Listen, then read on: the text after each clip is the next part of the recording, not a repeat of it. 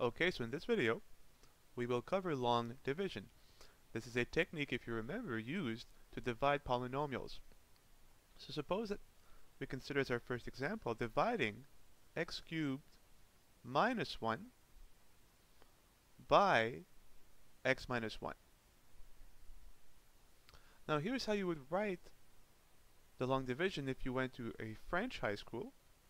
So you would simply say we want to divide x cubed minus 1 by x minus 1. And so we ask, and always when you write your two polynomials, that you write them from the largest power of x to the smallest power of x, so always in decreasing order of powers. And we ask, what times x will give us x cubed? The answer is x squared. Now we multiply the entire polynomial by x squared, and we get x cubed x squared minus 1 minus x squared. And now we simply subtract these two polynomials. So x cubed minus x cubed is 0. Be careful here that we get negative, so these two cancel. We get a negative negative x squared, so it gives us positive x squared. And we have a negative 1 minus, there's no constant term, so it's just negative 1 as long as the degree, the largest power of x that shows up here, is equal to or larger than the largest power of x here, we have to keep going, and we repeat. We ask what times x will give us x squared. The answer is x, so we say plus x.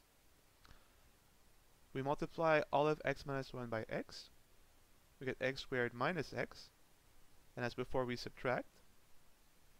x squared minus itself gives us 0 negative negative x is positive x. Negative 1 minus 0, negative 1. The degree here is 1. The degree here is 1. We have to keep going. One extra step. What times x gives us x? The answer is 1. 1 times x minus 1, x minus 1. And we get 0. This is our remainder. And this is the sign that the long division is over. And what's the conclusion here? Well, this implies that the polynomial x cubed minus 1 is equal to x minus 1 times x squared plus x plus 1. There is no remainder as it is equal to 0. Usually we denote this by r of x, the remainder. And you can check, right? This is very easy. Multiply out x minus 1 with x squared plus x plus 1, and you will get x cubed minus 1. Now let's see how you would have written this down if you went to now an English high school. You'll see the steps are all the same except we simply write things in a slightly different order. We will write, we want to divide x cubed minus 1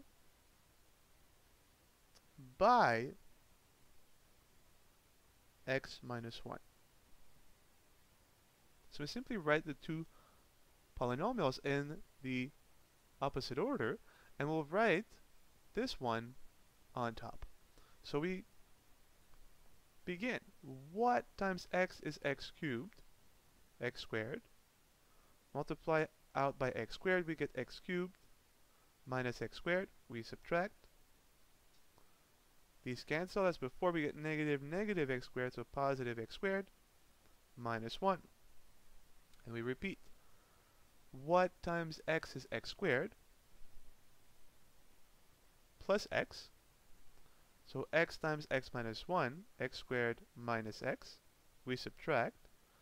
The x squared cancel. Negative negative x is positive x, and a leftover of minus 1. We repeat, what times x is x plus 1. 1 times x minus 1, x minus 1. We subtract, and we have a remainder now of 0. And as we have seen before, indeed, the polynomial x minus 1 does divide x cubed minus 1 because it is a factor of x cubed minus 1. And so we have the same conclusion. The polynomial x cubed minus 1 is x minus 1 times x squared plus x plus 1. And that's it. This is long division when we are dividing a polynomial by another one that is actually a factor of the polynomial, in which case we have a zero remainder. Let's do one more example of the zero remainder, and then we'll do another example where the remainder is non-zero.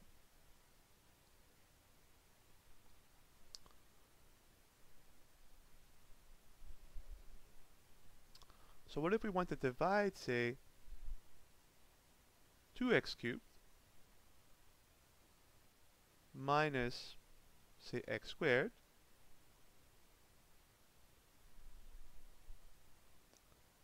plus x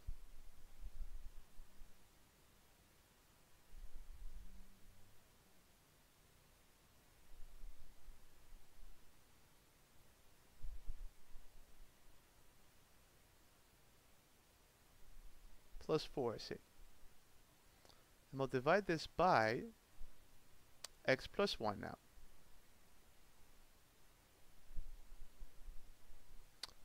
Let's see. Now, I'll write the long division as if you went to an English high school. If you're more comfortable, you can always feel free to write your long division the way you learned from a French high school. So now we're trying to divide 2x cubed minus x squared plus x plus 4 by the linear polynomial x plus 1. So let's see what happens. What times x is 2x cubed? Well, 2x squared. Multiply out, we get 2x cubed plus 2x squared we subtract, these two cancel, we get negative x squared, negative 2x squared, negative 3x squared, and we have a leftover x plus 4. The degree here is 2, the degree here is 1, and so we repeat. What times x is negative 3x squared? Negative 3x. We multiply out. Negative 3x squared negative 3x. We subtract. These two will cancel. Here be careful, x minus negative 3x will give us plus 3x, so 4x plus 4. The degree here is 1. The degree here is also 1, so we have to repeat. Plus, what times x is 4x? Plus 4. 4 times x plus 1, 4x plus 4. We subtract, and now we have 0. It is our remainder, which implies once again that x plus 1 divides 2x, uh, 2x cubed minus x squared plus x plus 4, and the other factor is 2x squared minus 3x plus 4. And this is our conclusion.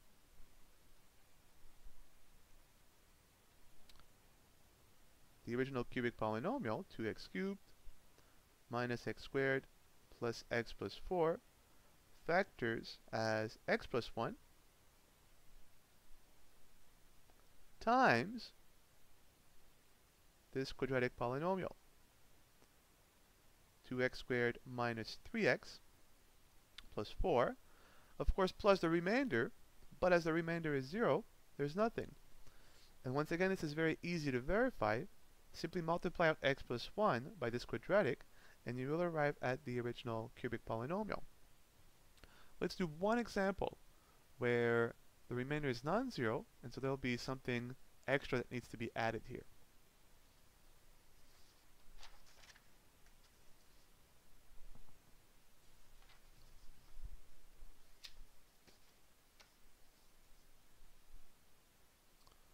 Let's take a degree 4 polynomial. Let's start with simply degree 3. Let's go with 3x cubed minus 5x plus 1. And we'll divide this by, let's take a linear polynomial. Let's go with x minus 7. I will write the long division here if you went to a French high school. So if you went to an English high school, you can write it backwards. So now here we would say we want to divide 3x squared minus 5x plus 1 by x minus 7. So what times x will give us 3x squared? Obviously 3x. Multiply out by 3x, we will get 3x squared minus 21x. We subtract. These two cancel. Negative 5x, negative negative 21, that's plus 21. So 21 minus 5 is 16. We get 16x plus a leftover of 1. And we repeat. The degree here is 1, the degree here is 1. There's one more step plus what times x is 16x, well quite simply plus 16.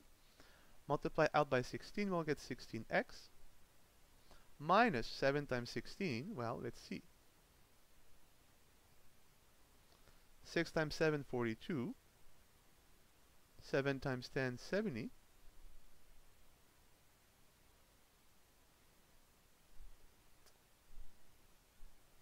So we get 112. So minus 112. We subtract. These two cancel. And here be careful, 1 minus negative 112, so it's 113. The degree here is 0, as there is no more power of x. The degree here is 1, and so we are done our long division. This is now our remainder. And let's write our conclusion. So the original polynomial, 3x squared minus 5x plus 1,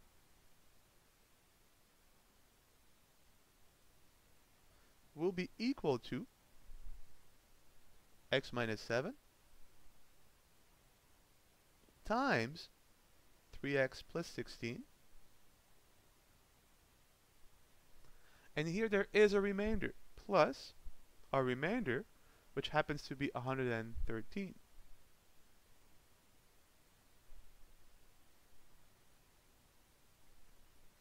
Before this term wasn't there in the previous two examples, as the remainder was 0. Let's do one more example where we'll take a cubic polynomial and we'll divide by a quadratic polynomial.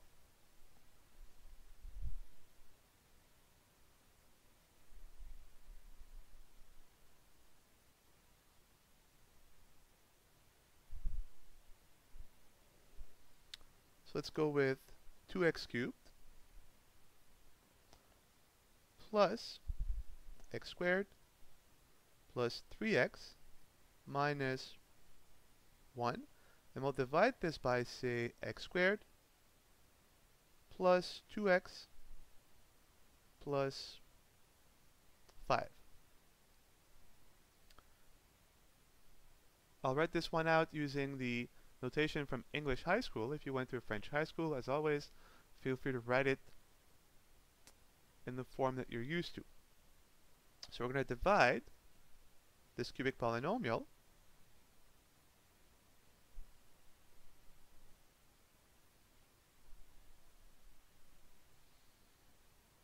by this quadratic polynomial x squared plus 2x plus 5. And so we start. What times x squared is 2x cubed. Well, 2x. Multiply out by 2x, we will get 2x cubed plus 4x squared plus 10x. We subtract. These two cancel. x squared minus 4x squared, negative 3x squared 3x minus 10x, negative 7x, negative 1 minus 0, negative 1. Are we done? Well, the degree here is 2. The degree here is still 2, so they're equal. We have to keep going. Remember that we're done the long division. once the degree of the remainder is strictly smaller than the degree of the polynomial we're dividing by. So we keep going. What times x squared is negative 3x squared? Well, negative 3. We multiply out. Negative 3x squared, negative 6x, negative 15. We subtract. These two cancel.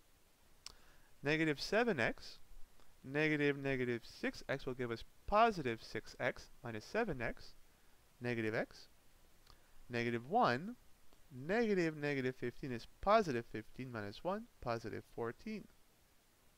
And now if you notice the degree here is 1, which is less than 2, and so we are done with the long division. This is our remainder. And now we can write the result of our long division.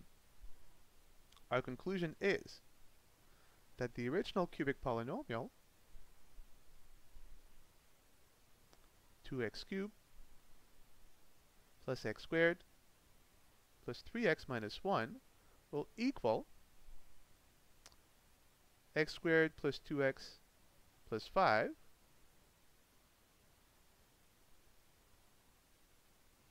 times 2x minus 3 plus our remainder, which is negative x, positive 14.